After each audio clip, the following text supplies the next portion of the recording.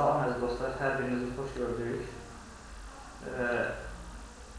Bu gün e, ümumi sınaq imtahanı 6-nın izahı olacaq və artıq sabah imtahandır və sabah imtahanda artıq e, belə deyək də bu qədər vaxt çəkdiyimiz əziyyətin e, hər birisi aiddir. Çəkdiyimiz əziyyətin qarşılığını görəcəksiniz kim nə qədər əziyyət çəkibsə, onun qarşılığını təbii ki.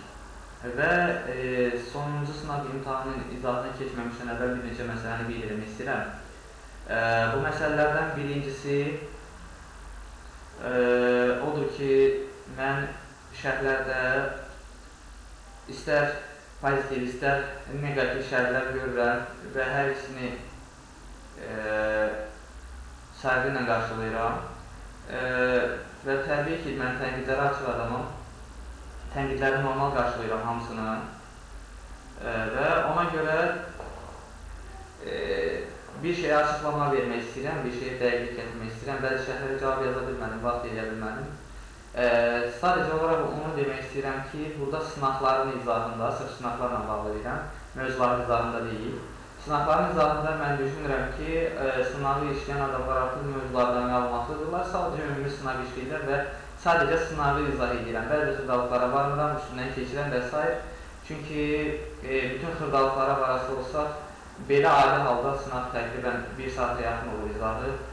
E, əgər xırdalıqlara varası olsaq, daha çox e, vaxt alacaq. Bəzi məqamlar olanda hansı ki, çox müraciət edirlər onunla bağlı, onu sınağa salıram həmin sualı və xırdalıqlara qədər izah etməyə çalışıram.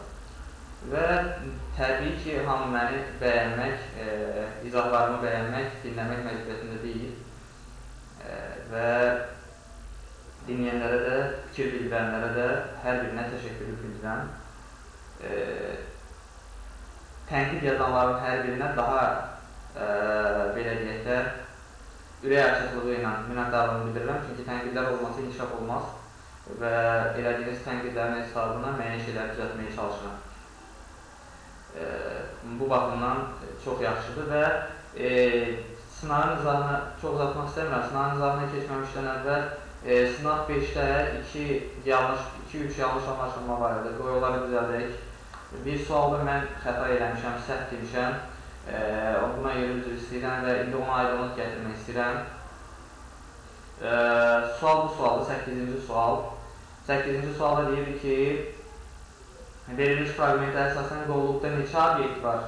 Mən 55 demişdim, amma 55 deyil. Burada 55 sadəcə seçilən e, elementlərin sayıdır. 55-i seçilib, biz dəqiq sayı müəyyən edə bilmərik. Ona görə burada düzgün cavab C variantı deyil də, sonradan mənə e, yazdınız, təşəkkür edirəm yazanların hər birinə e, ki, düzəldim və düzgün cavab Y variantı olacaq burada. Birinci xəta budur, bu mənim xətam idi.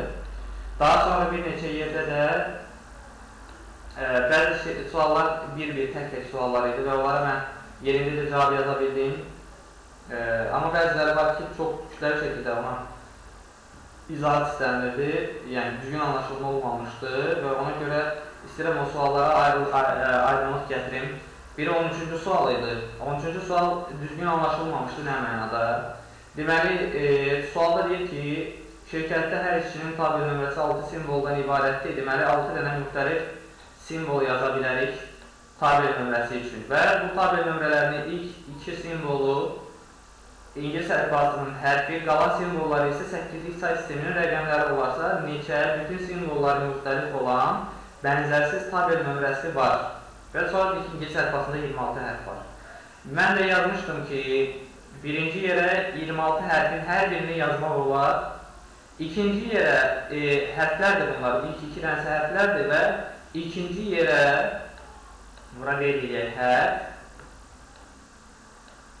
və digər 4 dənəsi 8-lik say sisteminin rəqəmidir. 8-lik rəqəm. İndi nəyə diqqət eləməyinizi istəyirəm? Birinci yerə 26 hərfdən hər hansısa birini yazmışıqsa, məsələn, A hərfini yazmışıqsa, ikinci yerə A hərfini yaza bilmərik, çünki bütün simvolları müxtəlif olan deyir bizə. Yəni, ikinci yerə yaza bilərik sadəcə 25-ini bunlardan. Və artıq yerdə qalan 4 dənəsini, mən yazmışam 8-lik say sistemində 8 rəqəm var. Və burada 8-dən başlamışam. Bu bir qədər səhv anlaşılmışdır. Bəziləri yazmış ki, 8-lik say sistemində artıq 8 yoxdur. 8-lik say sistemində 8 var deyə mən ora 8 yazmamışam. Sadəcə olaraq 8-lik say sistemində e, 8 dənə rəqəm var, 0-dan 7-yə qədər və o 8 rəqəmdən istənilən birini birinci yerə yaza bilərəm. İkinci yerə neçəsini yaza bilərəm? Bir, eyni hərflərdə olduğu kimi. Birinci yerə hər hansı bir rəqəmi yazmışıqsa, məsələn 0 yazmışıqsa, ikinci, üçüncü, dördüncü yerə bu 0 yaza bilməyəcək. Deməli, ikinci yerə 7-sini yaza biləcəm. Eyni qayda ilə üçüncü yerə 6-sını, dördüncü yerə 5-ini yazmaq mümkündür. Sonra da bunların sadəcə nə elədik? Hasilini hesabladıq və düzgün cavabı tapdıq. Səhv eləmirəmsə, yaxşı yazıda qalxda bir hesablamayacam. B variantı olmuşdur cavab. Buna da ayrılıq gətirdim və bir də aşağı baxaq. Bir dənə də sual var idi, hansı ki izahat tərəf edirlər onunla bağlı, sualla bağlı.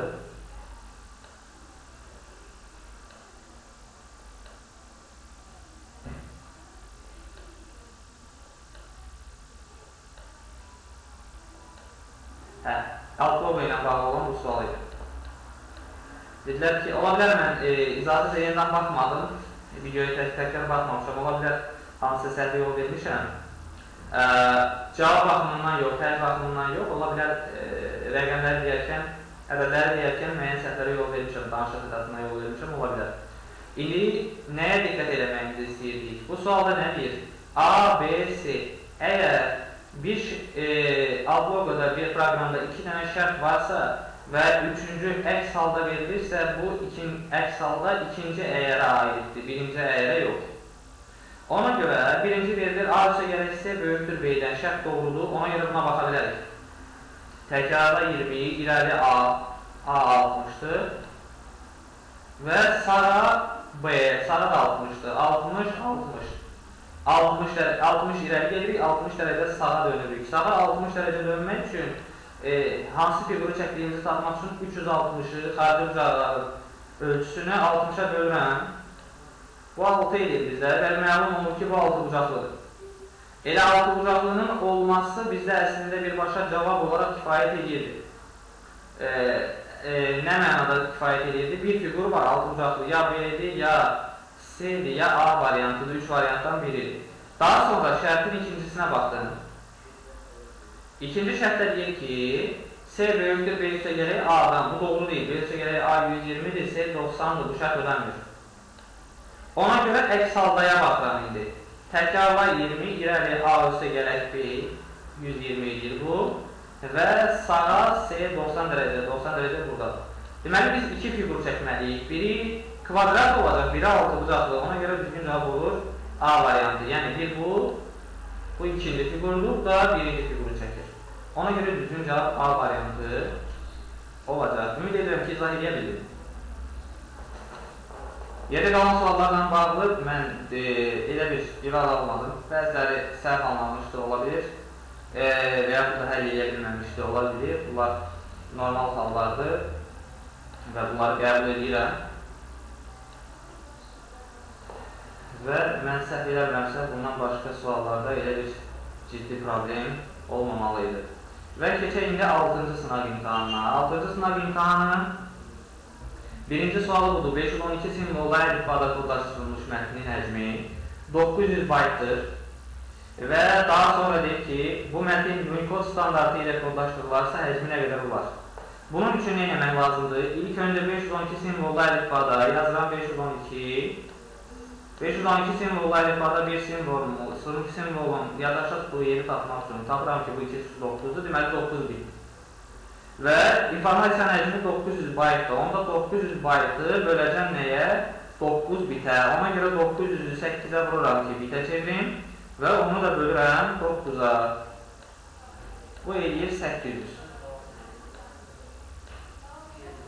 Deməli 800 dənə simvol var bizdə. 800 simvol Unicode standartı ilə kodlaşdırılırsa, həcmi nə qədər olacaq? 800-ü sadəcə 2-yə vuracam, çünki bir simvolun 2 baytdır. Bu da eləyəcək 1600 bayt. E, bir neçə sualda sürüşmə olmuşdu, bilmirəm bu suallardan biri idimi yoxsa yox. e, düzgün cavabları əslində var, amma cavablarda sürüşmə olmuşdur. E, bu məndən asılı olan bir şey deyil, sistemin özünün xətasıdır, cavablar dəyişilib, amma e, yenə də deyirəm, yəni o sualların cavablarına mən düzəliş elədim. Amma yəni məndən asılı olmayan səbəblərdən olur bu. İkinci sual, ikinci sual deyək ki, verilmiş proqram, proqram fraqmentinə əsasən verilmiş proqram fraqmentinə əsasən e, hansı nəticə çap olunar? E, bunu təyin etmək üçün əslində o qədər çətin sual deyil. M-nin hər ikisi 8-ə bərabərdir. Gəlir bir şərti yoxdur. M-dən böyükdürmü? Yox. Deməli, bunlara baxmayacağıq. Sonra keçirik evi M N-dən kiçikdir. Yox, bu da öyrənmir. Deməli, əks halda hansı nəticə çap olunur? Onun nəticəsi çap olunur. Ona görə düzgün cavab olur. B variantı. Keçirəm növbəti suala.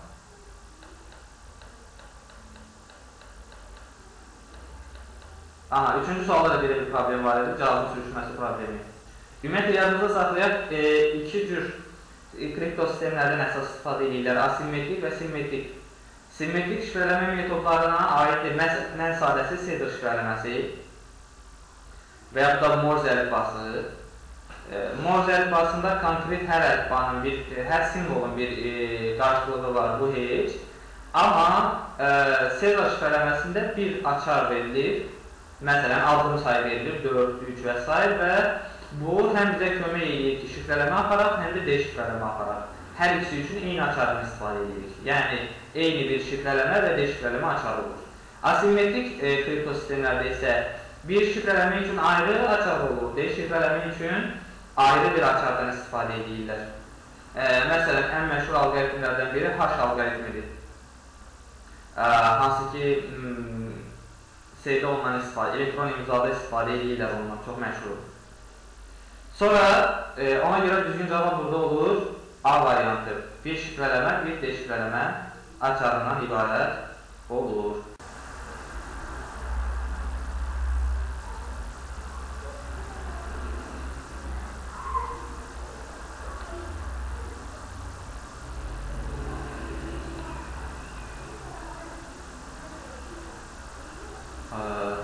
Deməli, dördüncü sualda deyir ki, 27-8-lik say sistemində ədəddən əvvəl və sonra gələn ikili ədədlərin cəmini tapın.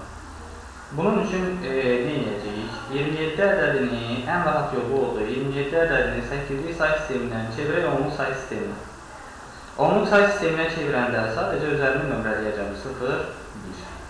2 vurulsun 8 üstünə gəlirəm 7. Bu eləyir 23. Və daha sonra 23 ədədindən əvvəl və sonra bu onluq sayı sistemində olduğuna görə əvvəl və sonra gələn ədədləri tapmaq asandır. Biri 22-dir, biri də 24-dür. Bunları toplayaram. Eləyir 46. Deməli 46 eləyir. 46-nı ikilik sayı sisteminə çevirmək kifayət edəcək sadəcə. 46-nı bölürəm 2-yə.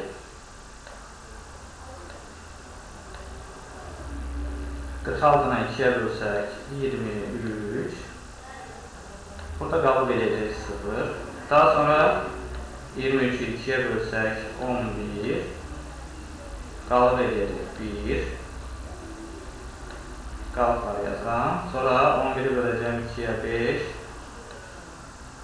2-yə böləcəm 5. Qalıb eləyəcək 1. Daha sonra 5-i 2-yə böləcəm eləyəcək 2, qalıq eləyəcək 1. 2-ni 2-yə böləndə 1, qalıq da eləyir 0. Deməli, düzgün cavab olacaq 1, 0, 1, 1, 1, 0. 1, 0, 1, 1, 1, 0. Düzgün cavab olur A variantı. Keçək e, digər suala. Beşinci sual Python-la bağlıdır. Sualda deyir ki, verilmiş A massivi üçün aşağıdakı fragmentin nəticəsini təyin edin. Və massivin elementləri təyin olunub x, y, z, t, m, n. Deməli, onların yerinə bu qiymətləri daxil edəmişik. Və indi A, A bir dənə massivli siyahı dərs verirlər. Siyahı bir dənə siyahıdır. Və bu siyahının bu siyahının e, elementləri üzərində hesablama aparırıq. İndi hər dəfəsində A-nin üzərinə biz başlayırıq A0-dan, A0, A1, A2, hər dəfəsində ona bölürük, üzərinə gəlirik. Deməli, sadəcə olaraq e, verilmiş e, i-nin də 0, 1, 2, 3, 4, 5 qiymətləri var. Burada da A-nın indekslərinə baxsaq, 0, 1, 2, 4, 5, 5, 4, 3, 2, 1, 0. Elə i-nin qiymətləridir. Onda birinci qiymət olacaq A0. A0-ın qiyməti nədir? 1. Onda A0-ımız birinci qiyməti hesablayan nə edirik? A0-ı 10-a bölürük. A0-ın qiyməti 1-dir. 1-in 10-a bölünməsindən alınan tam hissə eləyir 0. Çünki tam qalmır. Üstə gəlir. Sonra ikinci qiymətini yoxlayıram. 20-nin 10-a bölünməsindən alınan tam hissə 2 eləyir. Üstünə gəlirəm. Sonra e, A2 onun 10-a bölünməsindən alınan hissə 3 eləyir. Üstünə gəlir. 50-nin 10-a bölünməsindən alınan isə mənfi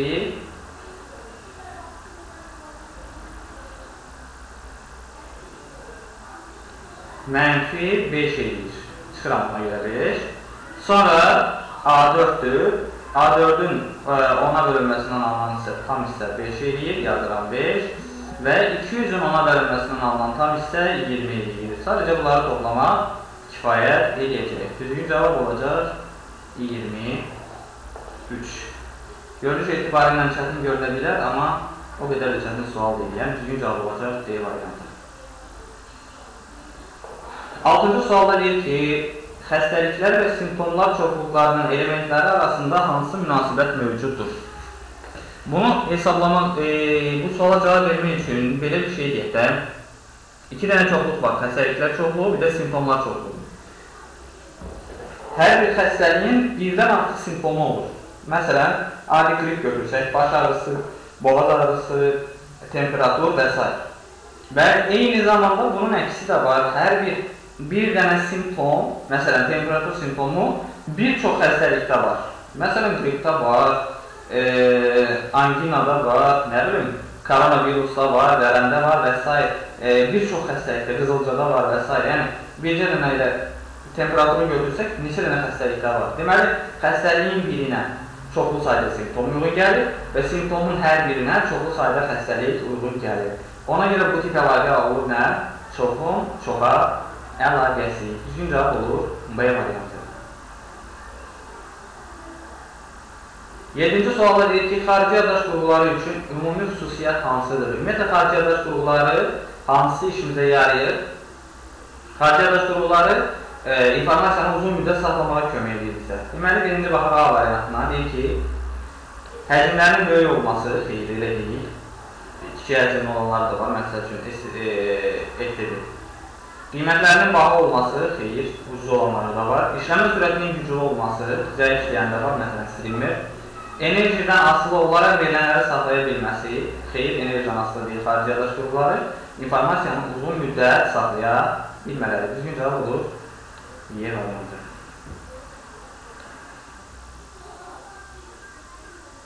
Səkkizinci suala keçək. Səkkizinci suala deyir ki, tələbə, hər təcrübədə hər tələbənin magistr sınaq imtahanında hər fəndən topladıqları ballar və ümumi bal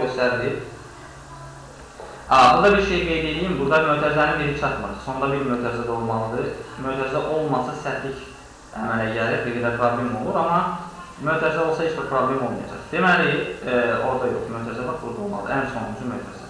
İndi gəlin, e, nəyə diqqət edəcəyik? Birinci, buna baxaq, bu şərtə.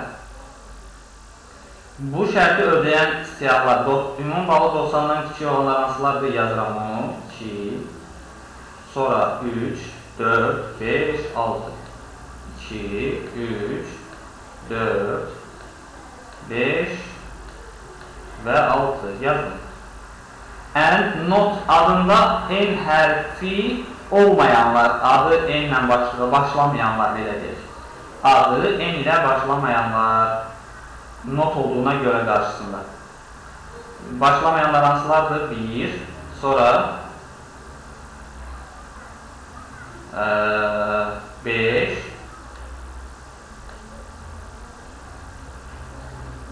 sadəcə 1, 5, hədif 3 endən başlamış. Bunları qeyd elədik 1, 5, 3 İndi aralarında e, bir informatikası 20-dən kiçik olanlar. Buna da baxaq. İnformatikası 20-dən kiçik olanlar bu var, bu var, bir də bu var. Deməli 2, 5, 6. 2, 5, 6. Diqqətlə baxsaq, arada ənd operatoru verib, ənd hər ikisində olanları seçir. 5 var, 3 var hər ikisində. Deməli, bu ikisindən nəticə etibarı ilə 5, bir də 3 çıxacaq. 3 ilə 5. Seçdik. Və burada or verib, birləşdiririk, yəni toplamadır. 3, 5 qalacaq və əlavə olaraq 2 ilə 6-nı da əlavə edəcək. Deməli, 5, belə ardıcıl yazaq da, 2, 3, 5, 6 qeyd elədik. Və qarşısında ümumi bir dənə not var. Qarşısında ümumi bir dənə not deməkdir ki, bunlardan başqa yerdə qalanlar. Bunlardan başqa yerdə qalanlar hansıdır? 1-dir, 4-dür və bir də 7-dir. Deməli, düzgün cavab olacaq. Yenə A variantı. Keçək e, növbəti suala. 9-cu sual. Bu keçən il qəbula düşmüş sualdır. Sadəcə olaraq orada e, rəqəmlər tərtib edilmişdir. Mən bir qədər rəqəmləri tərtib seçmişəm. Başqa heç bir fərq yoxdur. İndi diqqətlə baxsaq, A-nın əvəzində 0, B-nin əvəzində 1 verilib və şərt qoyub. A nə qədər ki, ondan kiçikdir, çap elə A-nı. Və fragmentin nəticəsində alınan ədədlərin cəmini istəyir. Onda biz A-ların qiymətlərini ardıcıl şəkildə çap edirik. A bərabər olacaq və e, gəl belə deyək, A-la B-ni də yazaq buradan, çünki bizdə B-lər də lazım gələcək. Hər dəfə A-nın qiymətləri B-nin qiymətinin asıl olaraq dəyişəcək. A-nın başlanğıc qiyməti 0, B-nin başlanğıc qiyməti 1-dir, yazdıq. A ondan kiçikdirmi? Bəli, kiçikdir. Düşürük aşağı. A bərabərdir B-yə, yəni A-nın qiyməti olur 1. B bərabərdir A üstə gərək B-yə. Sıfırın üstünə 1 gəlsə eləyəcək 1. Keçəlim növbəti qiymətə. Geri qayıdıram A1-dir, hələ heç nə dəyişmir. Sonra yenə A bərabər olur B-yə, yəni A-nın qiyməti olur 1. B bərabərdir, hər ədəsində B-yə baxırıq da. B buna bərabərdir, A da buna bərabərdir, birinci. Və hər ədəsində əvvəlki qiymətləri qoyuruq, yeni qiymətləri yox. İndi bax, nə mənada əvvəlki qiymətləri? Yəni bax, e, B-nin qiymətini təyin edəndə A ilə B-nin buradakı qiymətlərini götürürük. Daha doğrusu A-nın buradakı qiymətini götürə bilmərəm. E, B-nin qiyməti olacaq A üstə gələk 1. B-nin üstünə 1-in üstünə 1 gələndə eləyir 2. Növbəti addımın A yenə 1-dir. Keçirəm onun üzərindən A-nın qiyməti 1-dir, ondan kiçikdir, bəli. B-nin B, A bərabər olur B-yə, B-nin qiyməti 2 olduğuna görə yazılır 2. B də bərabər olacaq 2 üstə gərək 1-ə, A üstə gərək 1 ona görə. Olacaq 3. Növbəti dəfə şərti yoxlayıram, şərt ödənir. Şərt ödənir, ödənir. Ona görə düşürük aşağı. A-nın qiyməti olacaq bu dəfə 3, B-nin qiyməti olacaq 2-nin üstünü 3 gələndə 5. Bir də yenə şərt ödənəcək. Bu dəfə A-nın qiyməti olacaq 5, B-nin qiyməti olacaq 8. Növbəti addıma keçirik. A-nın qiyməti olur bu dəfə 8. B-nin qiyməti olacaq 13. Yenə şərt doğrudur. Bu dəfə A-nın qiyməti olacaq 13. B-nin qiyməti olacaq 21. İndi diqqətlə baxırıq, şərt ödənmir və ona görə A-nın bu son qiyməti çap olunmaz. Amma əvvəlkilər çap olunur və bizə nə lazımdır? Onların cəmini hesablamaq, həm də cəmini toplamaq. Toplamaq üçün toplayırıq. 1-in üstünə 1 gələndə 2, üstünə 2 gələndə 4, üstünə 3 gələndə 7, üstünə 5 gələndə 13, üstünə 8 gələndə 1 saniyə, 2-nin üstünə 2, 1-in üstünə 1. 2, 4, üstünə 3 gələndə 7, üstünə 5 gələndə 12, üstünə 8 gələndə 20. Deməli, düzgün cavab olacaq A variantı 9-cuda. Bu ötən mənə düşmüşdür qəbul imtihanında. Eynən bu sual. Deyir ki, aşbazın verilmiş ərzəqlardan yemək hazırlaması alqoritmi hansı tipdir? Ədadları sadəcə ardıcıl e, olaraq, yəni müəyyən bir yemək pişirmə əməliyyatı ardıcıl bir əməliyyatdır. Ona görə bu sual sadə sualdır, xətti bir alqoritmdir.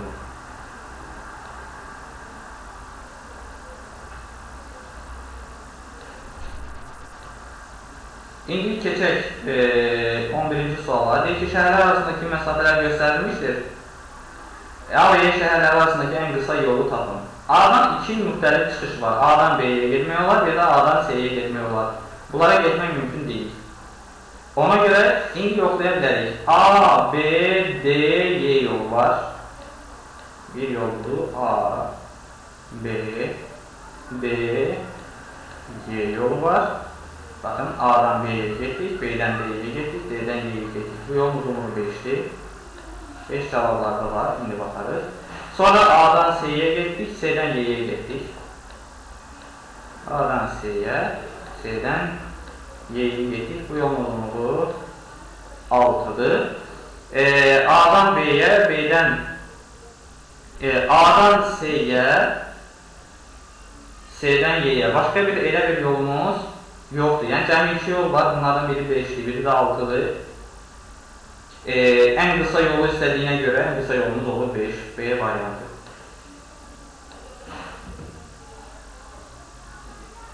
On ikinci sual. 12-ci sualda deyir ki, mətn prosesorunun hansı görünüş rejimində üfüqi xətkeş görünmür?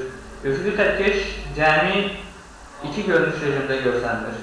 Biri struktur görünüş rejimidir, outline, biri də e, görünüş rejimidir, full screen reading. D2 və 4. Düzgün cavab Y variantıdır. Keçək 13-cü suala. Google SketchUp redaktorunda hansı alətdən istifadə etdikdə müstəviq fiquru müstəviq fiqurun üç ölçülü formasını almaq olar. Baxın, müstəviq fiqurdur, müstəviq fiquru yuxarı qaldırmaqla almaq olar. Digərləri bu ekranı e, fiquru sadəcə müəyyən bu cavabını döndərməyə imkan verir. Sonra e, yaxınlaş, e, hərəkət elətdirməyə imkan verir. Fiqur tam ekran boyutur və s. Ona görə düzgün cavab olur D variantı. Bunların üstündə çox dayanmıram, çünki bunlar sadəcə konkretlik tələb edir. 14-cü, bu 13-cü sual ötən il mənə qəbulda düşmüşdü özümə. Variantlarda müxtəliflik var idi, e, amma əsas olan cavabdır, yəni cavab bu idi. Elə D variantında ötən il. 14-cü sual. 14-cü sual da keçən mənə qəbulda düşmüşdü. Səhv eləmirəmsə ikinci sual idi bu. Amma bir qədər fərqli formada düşmüşdü. Orada deyirdi ki, orada belə Excel-in fraqmenti verilmişdi. Deyirdi ki, neçə nömrəli əmr seçilməlidir. Orada nömrələmə aparılmışdı ki, bu şəkildə yazı düşsün. Mən bir qədər dəyişmişəm, nisbətən çətin eləmişəm onu, amma mahiyyəti qalır. Bu şəkildə yazı yazmaq üçün bir klaviaturadan alt enter klavişlərindən istifadə eləmək olar. Bir də e, wrap text əmrindən istifadə eləmək mümkündür. Home menüsündə yerləşən əmrlərdə hər ikisi. Ona görə düzgün cavab olacaq D variantı. 15-ci sual nəzəri sualdır. Detektorlar sadəcə olaraq özlərinə məlum olan və istər əməli, istər xarici yaddaş qurğularında olan virusları axtarır. Düzgün cavab olur C variantı. 16-cı sual deyir ki, elektron cədvəl fragmenti verilmişdir və verilən şərtləri ödəyən yazıların sayını müəyyən edin. E, bu o deməkdir ki, hər üç şərt eyni vaxtda ödənməlidir. Çünki burada və bağlayıcısından istifadə olunur. Burada da vergi qoyulub. O demək ki, məntiq, informatika və xarici dil hər üçü bu şərtləri ödəyənləri seçməyə lazımdır gələcək. İndi birinci baxaq, məntiqi 40-dan çox olsun. Baxıram, 1, burada da ödəyir. Bunda da ödəyir. Bunda da ödəyir. Bunda da ödəyir. Hamısında demək olar ki, ödəyir. Bir dənə sonundan başqa. Sonra informatikası 20-dən kiçik bərabər olsun. Ona görə 20 olanı götürürəm. Bu olmayacaq. Olmayan ümumiyyətlə yazmayaq. Ki, çaşırmasın bizi. Hansılar ödəyirsə, onları yazmam çalışacaq.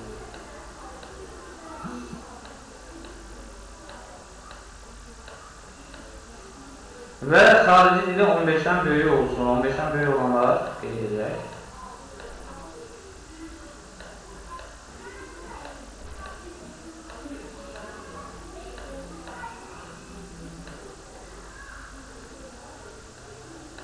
Və hər üçündə plus olanları seçirəm. Bax 14 nömrəlidir. Sonra 13 nömrəlidir. 12 nömrəlidir. 11 nömrəli, 11 nömrə xeyir, 11 nömrədə burada plus yoxdur. Sonra 9 və 8. Deməli, neçəsi? 5 dənəsi verilmiş şərti və deyir, düzgün cavab olur B variantı.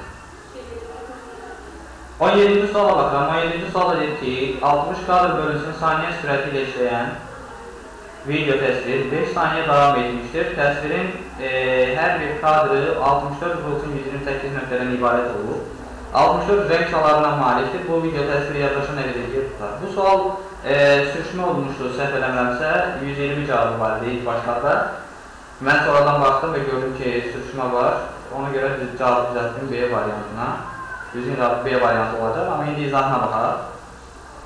60 kadr bölünsün saniyə. Video təsvirin həcmini hesablamaq üçün kadr tezliyi vurmalıyıq e, təsvirin müddətinə, daha sonra ölçülərinə və bitlərin sayına e, e, təsvir üçün nəzərdə tutulmuş, yəni hər piksel üçün.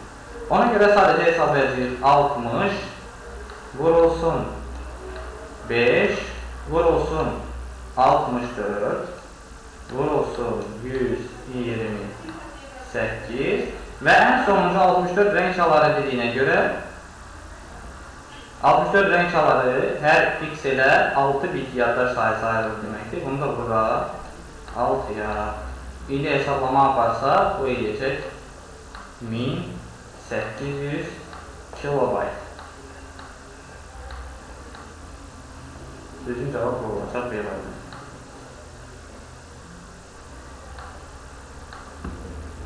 Sonra keçək 18-ci suala. URL nədir? Sadəcə açılışını istəyir. Bu da Uniform Resource Locator deməkdir. Açılışı budur, D variantı. Bunlar nəzər suallar və mütləq öyrənmək lazımdır, çünki bunlardan suallarda hər il olur. Və növbəti qəbul suallarından biri, orada konkret qiymət verilmişdir.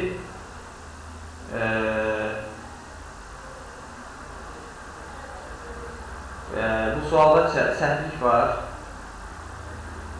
Nə mənada səhvlik var? Mütləq x-in qiyməti daxil edilməli idi. O baxımdan səhvdir. Və e, bunun üçün məsələn x-in qiymətindən asılı olaraq hesablama aparıla, aparıla bilərdik, bilərdik. Burada x-in qiyməti verilməyib, ona görə hesablamanın aparılması da mümkün deyil. Yəni, səhvlik var bu sualda. İndi e, tutaq x bərabərdir, məsələn, deyək, 5 götürək. x-i 5 götürsəydik və yaxud da x bərabərdir, 4 götürək.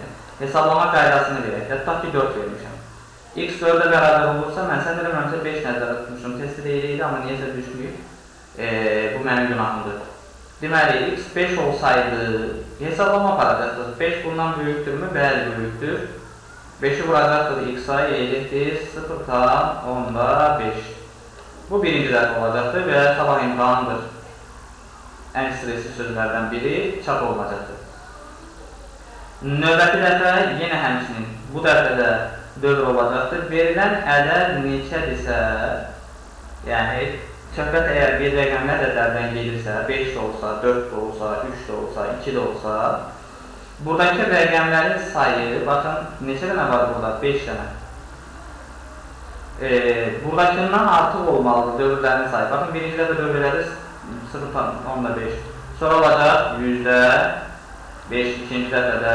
Üçüncü dəfədə olacaq 0.1000-də 5, bir dəfədə çap olunacaq. Mində 5 dəfə böyükdür hələ bir dəfə. E, sonra 0-dan 10 mində 5 olacaqdır. Yenə şərt ödənəcəkdir, çünki 10 mində 5, 10 mində 1-dən böyükdür. Və ən sonuncuda 0-dan 0, 0, 0, 0, e, 0, 5 bu şəkildə olacaqdır. Yenə bir dəfə çap olunacaqdır və şərt ödənməyib dövrdən çıxış baş verəcəkdir. Ona görə dövrlərin sayı 1, 2, 3, 4, 5 dəfə olardı. Təbii ki, əgər x bir rəqəmlərlə də olsaydı. e, x 2 rəqəmli ədəd olsaydı fərqli olardı, 3 rəqəmli ədəd olsaydı fərqli olardı və s. bir qədər səhvlik var bu sualda, 19 nömrəli sualda.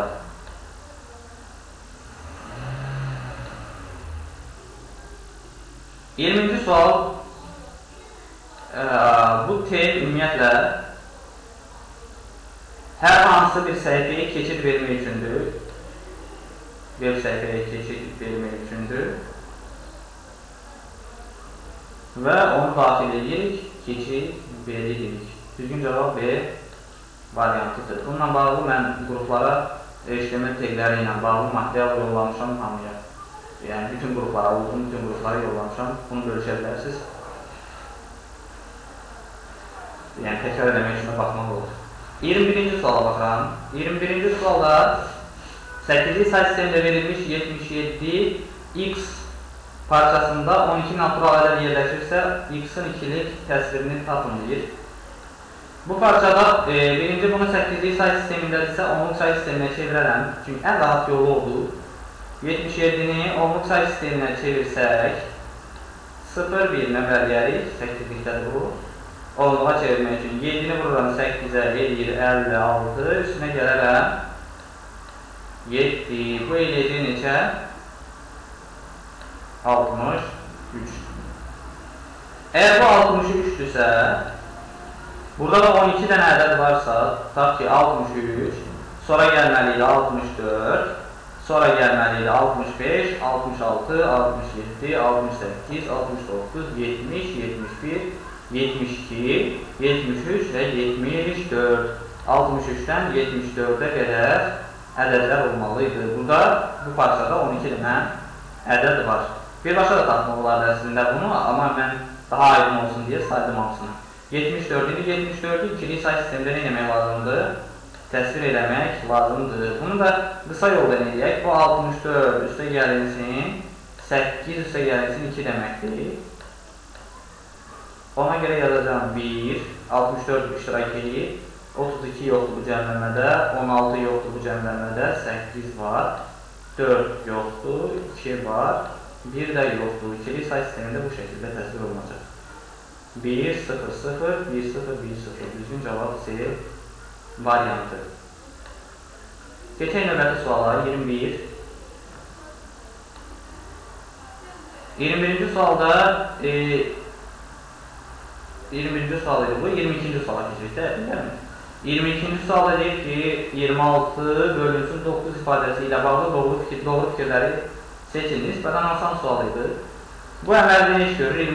26-nın 9-a bölünməsindən alınan qalığı hesablayır. Ona görə 1 doğrudur, 2 yanlışdır, 3 e, yanlışdır. Nəticəsi 8-ə bərabərdir. 26-nın 9-a bölünməsindən alınan qalıq 8 edir. 4 doğrudur, 2 səhvdir. Bu 5 səhvdir. Tam qismət hesablayır səhvdir. Deməli, düzgün cavab olur 1, 4, C variantı. Keçirəm 23-cü suala. 23-cü sualda deyir ki, RGB rəng sistemində ağ rəngin və yaşıl rəngin kodları hansılardır? Ağ rəngin kodu, ağ rəng o halda olursa, e, deməli bu red Bunun açılışı nədir? Red, qırmızı, yaşıl, mavi. Bütün rənglər maksimum olduqda, yəni 8-dəki kimi olduqda, ağ rəng heç bir rəng olmadıqda qara rəng alınır. O yüzdən 8 cavablarda mütləq olmalıdır. Ona görə cavab qalır B, C ilə G variantları arasında. Və bir də hansı rəng istəyir? Yaşıl rəng, green. RGB sistemində hansı rəng maksimumdursa o rəng görsənir, digərləri yox. Deməli, green rəngin görünməsi üçün redlə bu 0 olmalıdır. O da yalnız 3-ə uyğundur. 0, 0. Bu maksimumdur. Bunlar da 0, 0-dır. Deməli, olur 3 ilə 8, C variantı. Keçirəm növbəti suala. 24-cü sual. Proqram fragmentinin icrası nəticəsində hansı fiqur çap edilir? Bunu tapmaq üçün, bu da qəbul sualı yeni gəlmişkən, qərəbi indi təkrarla 10, iləri 100, sağa 60. Dönmə mücadının 60 dərəcə təyin eləmişiksə, onda sadəcə 360-ı 60-a bölmək kifayət edir ki, neçə bucaqlı çəkdiyimizi tapaq. Bu da 6 edir. Deməli, söhbət 6 bucaqlıdan ki, gedir və onda düzgün cavab olur. A variantı.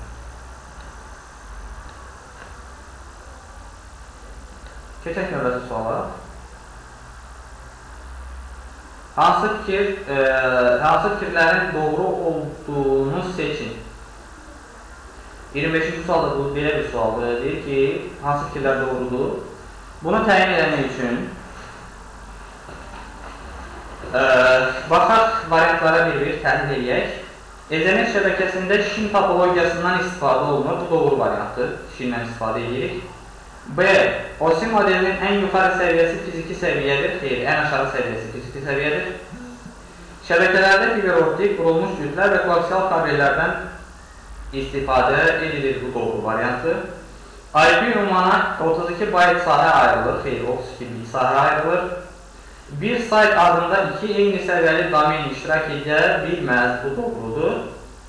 HTTP hipermətnlərin ötürülmə protokoludur. Bu da doğrudur. Deməli, düz olur A, S, Y, F. Variantlara baxaq. A, S, Y, F düzgün cavab B variantıdır. Keçirəm növbəti sualın izahına. Aşağıdakı verilmiş şəkildə Rövşən adlı diskin yerarxik strukturu verilmişdir. Verilənlərə görə məntiq qovluğunda yerləşən mig.doc faylının tam adını müəyyən edin. Bunu müəyyən etmək üçün ilk növbədə nəyə diqqət edirik? Deməli, bu diskin adıdır, elə göstərilir, elə deyil bizə. Diskin yerarxik strukturunda. Bundan biz məntiq mig.doc faylını axtarırıq, amma hansı qovluqdakı məntiq qovluğundakı.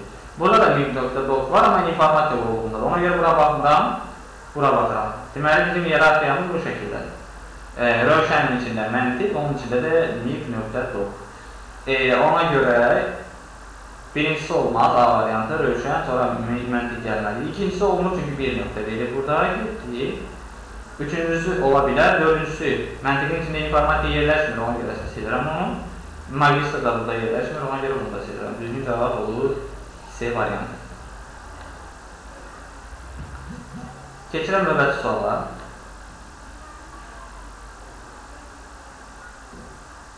Şəbəkədə şülüz nə iş görür, yaxud da nədir? Şülüz e, lokal və qlobal şəbəkəni, yaxud da müxtəlif şəbəkələri bir-birinə birləşdirən qurğudur. E, istər protokollardır, həm protokolları müxtəlif olan və həmçinin də e, lokal şəbəkəni qlobal şəbəkəyə, həmçinin e, bir neçə şəbəkəni bir-birinə bağlaya bilir. Ona görə düzgün cavab olur D variantı. 28-ci suala baxıram. 28-ci sualda deyir ki, prototip nədir? E, baxın, obyektin bənzəri, obyektin özü prototipdir, həqiqi, əsli e, onun bənzərinə model deyirik. Yəni, bu münasibət adlanır prototip model münasibəti. Prototip əsildir, model onun bənzəridir. Məsələn, ə, e, ola bilər, məsələn, ay, e, məsələn, globus yerin prototipidir, yəni bənzəridir. Yaxud da onun modelidir. Hansı tip model olmasının e, bu məsələdə iştirakı aidliyi yoxdur, prototiplə model məsələsində. Amma önəmli olan odur ki, yəni prototip obyektin əsli, model onun bənzəridir. Düzgün cavab olur B variantı. Keçək növbəti suala. 29-cu sualda deyir ki, təqdimat proqramlarında, proqramında slaydlar arası keçid hansı menyu vasitəsilə icra edilir? Yer gəlmişkən, bu 28-ci sualda mənə düşmüşdü. E, 27-ci sualda mənə düşmüşdü qəbul sualında. 26-cı suala bənzər suallar idi, özü deyildi. 25 həmçinin, 24 düşmüşdü dedik, qəbul sualda ötən. Sonra 29-cu sual 3 il arada mənə düşüb imtihanda hər il düşür demək olar ki, də. Ötən il düşmüş, ondan əvvəlki ildə, ondan əvvəlki ildə düşmüşdü. E, və bu orta məktəb dərslərində səhv göstərilib, animation tabı olaraq göstərilib. Amma slaydlar arası keçid e, təyin olunur transitiondan, slayd obyektləri arasında keçid təyin olunur animationdan. Ona görə bu məsələni e, qeyd etmək istədim. Düz söz düzgün yazılmayıb, amma e, animationdır. Düzgün cavab. E, sonra 30-cu suala baxaq. Mətn redaktorunda bu da ötən il mənə qəbula düşmüşdü. Ondan əvvəlki bu eyni sual bir qədər fərqli formatda düşmüşdü mənə. Word-dən cəmi iki sual var idi. Biri bu idi, biri də klaviatura qısa yolunu soruşurdu. Onu da ötən sınav imtahanında salmışam. Ə, mətnin sonuna keçmək üçün hansı klaviatura qısa yolundan istifadə olunur, o idi sual. E, deməli, e, mətn redaktorunda siyahının hansı növü yoxdur? Bir, e, yadımıza saxlayırıq, e, Word-də 3 tip siyahıdan istifadə edirik. 1. Markerli siyahı 2. Nömrələnmiş siyahı 3. Çox səviyyəli siyahı. Markerli siyahıya bəzən nömrələnmiş siyahı da, nişanlanmış siyahı da deyə bilirlər. Düzgün cavab olur burada D variantı, çünki formatlanmış deyə bir siyahı növü yoxdur. Düzgün cavab olur D variantı. İzahın həmən ardından e, sizlərlə görüşmək istədiyim müəyyən şeylər var e, və onu canlı yayında sizlə müzakirə edəcəm. E, öz məsləhətlərimi vermək istəyirəm. Miqdə nələrə diqqət edək bununla bağlı. E, 31-ci sual informasiya prosesləri nədir? 2019-cu 2018-ci ilin qəbul sualıdır bu. İnformasiya prosesləri informasiyalar üzərində aparılan əməliyyatlardır. Buna deyirik informasiya prosesi. Düzgün cavab olur A variantı. 32-ci sual. Azərbaycanda avtomobil nömrələri 8 simvoldan ibarət olmaqla 26 hərf və 10 rəqəmin kombinasiyasından düzəlir. Hər simvol, hər bir simvolu əlifbanın gücü 128 olan əlifbada kodlaşdırıldığını bilərək hesab etsək, 20 nömrənin bu komitənin yaddaşına nə yer tutduğunu müəyyən edin. Deməli, 8 simvolumuz var və 20 dənə nömrədirsə, 20-ni vururam 8-ə, bilin ki, neçə simvolum var, onu təyin edir. Burada hərf və rəqəmin sayının verilməsi böyük bir əhəmiyyət kəsb edər, çünki əsas maşının nömrəsində neçə simvolun olmasıdır. Hər bir simvolu əlifbasının gücü 128 olan, 128 O demək ki, bu 128 simvol əlifbadır və bu 2 üstündə 7 demək olacaq. Hər simvolum 7 bitlə kodlaşdırılır. Bunu da vururam 7-yə. Bu aldığınız cavab bitlə olacaq və biz bunu 8-ə bölməklə nəyə çevirmək olar? Bayta çevirə bilərik. 8 ilə 8-i ixtisar edirəm. Qalır 140. Düzgün cavab olur D variantı.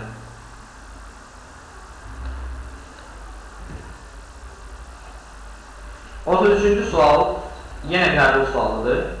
Verilənləri daşımaq üçün fiziki vasitələrin ən sürətli kabel növü hansıdır? Bilirik ki, 3 tip kabel növü var. Burulmuş kütlər, koaksial və fiber optik. Radio siqnalı və mikrodalğalar e, fiziki vasitələr kabel növü deyil əslində. Ona görə çıxıram, yerdə qalır 3 dənəsi və bunların arasında ən e, sürətli ötürməyə imkan verən fiber optik kabellərdir. Düzgün cavab olacaq A variantı. 34-cü suala baxıram. 34-cü sualda deyir ki, ikilik say sistemində verilmiş 1, 0, 1, 1, 0, 1 ədədi. Onluq say sistemində hansı e, iki onluq ədədin cəmini göstərir. Bunun üçün sadəcə bunu onluq say sisteminə çevirmək kifayət edəcək. Nömrələyəcisini 0, 1, 2, 3 və olacaq. 1 vuraq 2 üstü 3 üstə gəlinsin 1 vuraq 2 üstündə 2 üstə gəlinsin 0 vuraq 2 üstündə 1 üstünə gələk 1 vuraq 2 üstündə 0 Bu da bizdə eləyir. Əslində qısa yoldan gedə bilərdim. Sadəcə bir qədər uzatdıq. 8 üstünə 4 gələndə 12, üstünə 1 gələndə eləyir 13. Elə 2 ədəd olmalı ki, cəmi 13 olsun. O da A variantında verilir.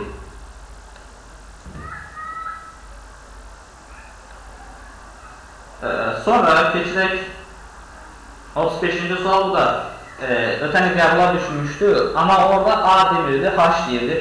Mahiyyət etibarı ilə eyni, tamamilə eyni sualdır. Sadəcə simvolun özünü dəyişmişəm bir dənə. E, demək, A hərfindən qabaq deyik ki, bu maska nəyi bildirir? Baxırıq ki, bu maskada nələr, nələr var? Diqqət edirik ki, A-dan əvvəl bir dənə simvol yerləşir. və genişlənmə də bir simvoldan ibarətdir. Ona görə indi təhlil edək. İkinci simvolcul A olmalıdır. A hərfindən qabaq bir, sonra istənilən sayda simvoldan ibarət, çünki ulduz var, istənilən sayda yerləşə bilər e, və ibarət istənilən sayda genişlənməyə malik olan yox. İstənilən sayda genişlənmə olmaz, bir dənə genişlənməsi olmalı. A hərfindən qabaq bir neçə, xeyr bir neçə deyil, bir dənə simvol olmalıdır, B-də çıxıram. A hərfindən qabaq bir neçə, xeyr, yenə bir neçə deyil, bunu da çıxıram. D. Birinci simvolu ixtiyari, ikinci simvolu A ilə başlayan, sonra bir və bir neçə simvoldan ibarət, yalnız bir simvoldan ibarət genişlənməyə malik ə, faylları axtarır. Ona görə bizim cavab olur D variantı. Buradan bu sualları bitirdik. Keçirəm 36-cı suala. Hə, ən böyük müzakirəyə səbəb olan və problemli hesab olunan suallardan biri. E, bu sualda nəyə diqqət edirik?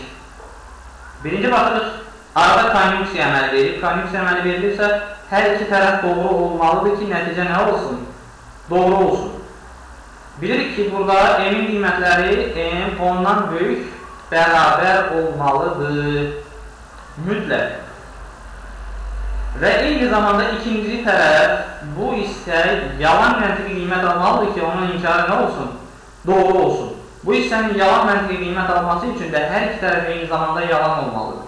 Hər iki tərəfin eyni zamanda yalan olması üçün m-in qiymətləri 20-dən kiçik olmalıdır. M-in qiymətləri 20-dən kiçik olmalıdır. Hətta 20-yə bərabər olanda da 20 qoysa 20 qoyanda bu da yalandır, bu da yalandır. Yalanla yalanın inkarı doğru, bu tərəf də doğru olur. Ona görə bu bərabərliyi ödəyən ədədlər olmalıdır. Yenə deyirəm, diqqətlə baxırıq. E, arada konjunksiya olduğuna görə bura ilə bura hər ikisi eyni vaxtda doğru olmalıdır ki, nəticə doğru olsun. Buranı doğru edən qiymətlər emin ondan böyük olan qiymətlərdir. Yazdım onu, bu hissəni. Və ikinci tərəf, buranın doğru olması üçün imkanla bərabər ifadənin bu hissənin yalan olması lazımdır. Bu hissəni yalan götürdükdə emin qiymətləri emin qiymətləri e, 20-dən kiçik və ona bərabər ola bilər. Çünki 20-dən kiçik olsa bu da yalan olacaq, bu da yalan olacaq. Bərabər olanda da bu da yalandır, bu da yalandır. Ona görə 20-dən kiçik bərabər qiymətlər alır. Deməli, M 20 ilə onun arasında qiymətlər alır. Hansı qiymətləri ala bilər? 20, 19, sonra 18, 17 16 15 14 13 12 11 və 10 yoxlaya da bilərsiniz. Bu qiymətləri qoyanda hər dəfəsində doğru cavab alır. İndi sayaq 1, 2, 3, 4, 5, 6, 7, 8, 9, 10, 11 düzgün cavab olur. C variantı. Yəni neçə qiymətində? 11 qiymətində. E, bu o demək deyil ki, cavabı e, M-in 11 qiymətindən söhbət gedir. Say olaraq 11-dən gedir burada söhbət.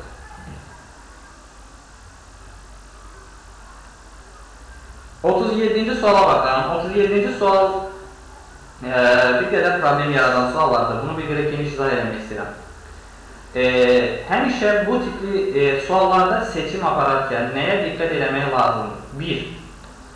Əgər addım verilməyibsə, o zaman addımı biz müsbət 1 qəbul edirik. Məsələn, 2, 5.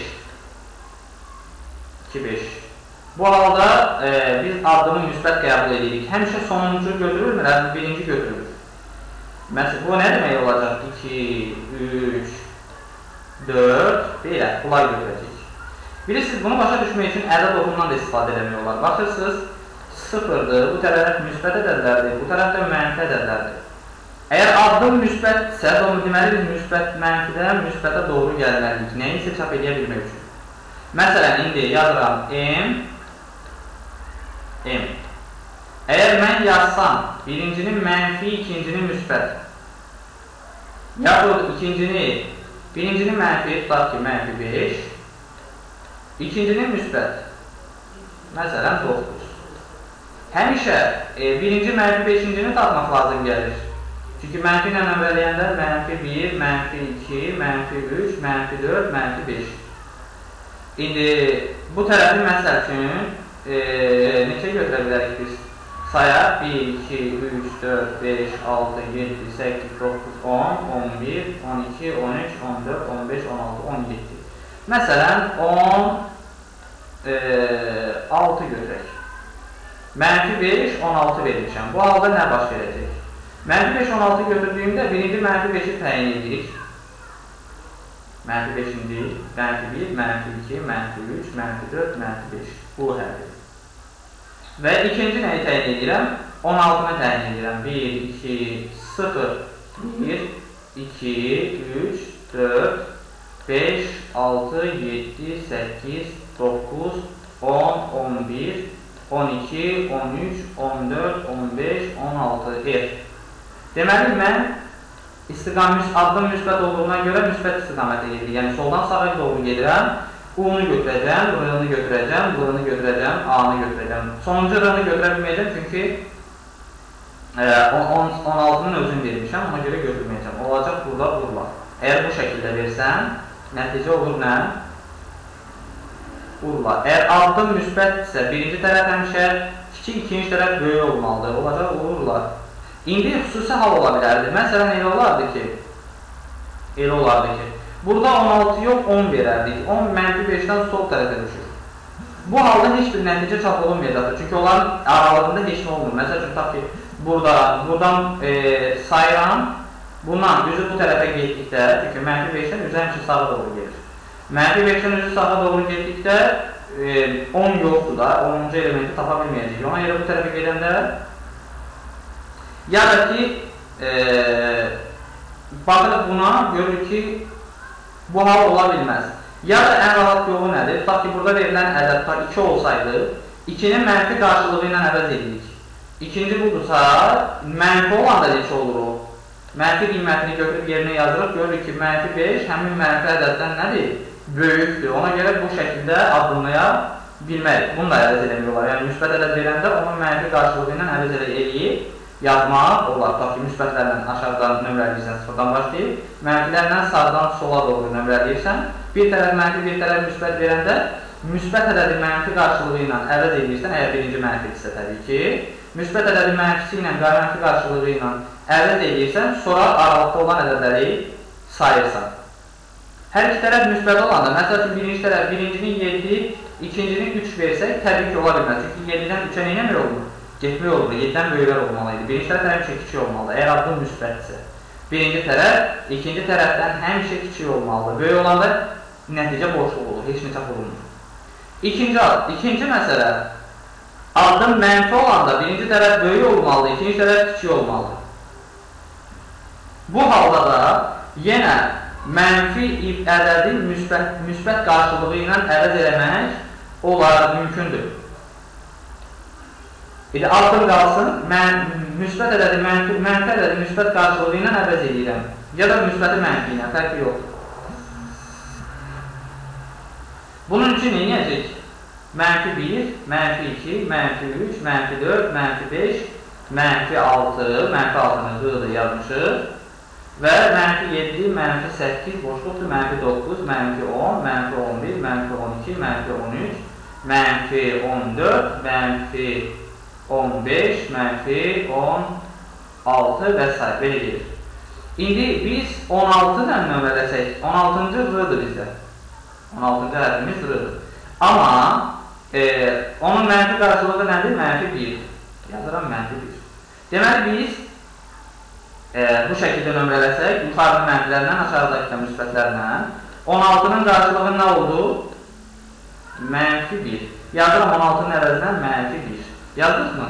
Mənfi 1-dən mənfi 6-ya qədər mənfi 1 addımı ilə hesablayıram. Mənfi 1-dən mənfi 6-ya qədər. Addım mənfi olduğuna görə, müsbət olsaydı bunu eləyə bilməzdik. Və addım mənfi olduqda so sağdan sola gedirik, çıxa-çıxa gedirik. Müsbət olanda üstünə gələ-gələ gedirik, əlavə edirik, irəli. Mənfi olanda geri-geri hərəkət edirik. Yəni, kiçilə kiçilə, kiçilə kiçilə. Birinci tərəf böyük, ikinci tərəf kiçik olmalı. İndi sayıram, mənfi 1-dən sayıram. R,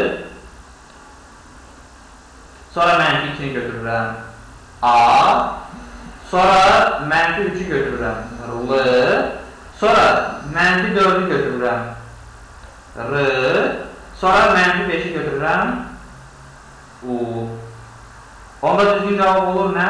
Ral, ru. Addım mənfi olduğuna görə. Düzgün cavab olur A variantı. Bu qaydanı mənimsəsəz problemimiz olmamalıdır. Başlanğıc son olanda da, başlanğıc və son verilməyəndə də onun sıfırını nəzər edin, çox rahatlıqla cavab alacaqsınız. Həmişə müsbət deyil, yəni mənfi qarşılığı ilə, yaxud da mənfini müsbət qarşılığı ilə əvəz edin, nömrələmək yolu ilə da.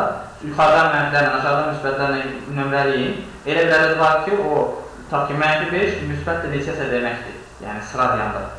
Əvəz edirsiniz. Əgər addım müsbətsə, birinci tərəf böyük, ikinci tərəf kiçik olsa heç nə çap olunmur. Əgər addım mənfidirsə, birinci tərəf kiçik, ikinci tərəf böyük olanda heç çap olunmur. Əgər adi halda addım müsbətsə, birinci tərəf kiçiksə, ikinci tərəf böyüksə, kiçikdən böyüyə doğru sayırsız axırıncını götürmüşsünüz. Çox sadə bir qaydadır. Yəni bu qaydanı yadda saxlasaz heç bir problemimiz olmayacaq. 37-ci suallar, keçirik 38-ci suala. E, verilmiş fragmentə əsasən qovluq pəncərəsində neçə nömrəli əmrləri seçməklə qovluq pəncərəsi e, qovluq seçimlərini folder optionsi seçmək olar. Bunun üçün tools'dan eləmək olur 6-cı. Bir də folder and search options bunu görə bilirik 2.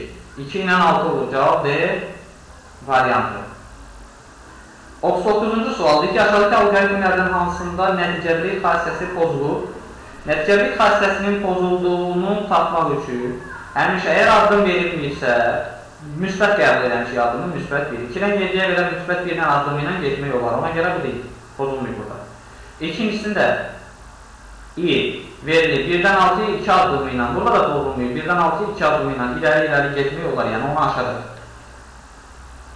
Aha, S variantı qalsın çünki düzgün cavab oldu. İndi 5-dən 0-a mənfi bir addımı ilə getmək olar, yəni 5-dən 1 çıxmaq vasitəsi ilə 0-a qədər indirmək olar. Həmçinin 11-dən bir çıxmaq yolu ilə 3-ə qədər indirmək olar. Bu da mümkündür. Bu da mümkündür. Düzgün cavab olacaq C variantı. Niyə? Çünki 8-dən 3-ə bir üstünə 1 gəlməklə heç vaxt gedib çıxa bilməliyik. 8-ə artırılırsa böyük də daralacaq. Heç vaxt 3 olmayacaq. Ona görə e, nəticəli xəstəsi pozulur burada. Düzgün cavab olur C variantı. 40-cı suala baxaq. 40-cı sualda yaddaşa tutduğu yerlə bağlıdır. Bilirik ki, ikilik sayı sistemində hər bir ədəd kompüterin yaddaşında 1 bit yer tutur. Onda bu olur 3 bit. Onluq say sistemində bu ədədin kompüterin yaddaşına tutduğu yeri tapmaq üçün özündən böyük 2-nin qüvvətini tapırıq. 8 edir o da. Bu da 3 bitdir. 16-lıq say sistemində hər simvolun 4 bitdir. Bu onda olur 20 bit. Və 8-likdə 3 bitdir. Onda da olur 12 bit. İndi e, nə eləmək lazımdır? X, Y-ə bərabərdir. O böyük, o kiçikdir T-dən, o da kiçikdir Z-dən. Düzgün cavab A variantdır. E, mövzu ilə bağlı bu qədər. Canlı yayında növbəti canlı yayında görüşərik. Sağ olun.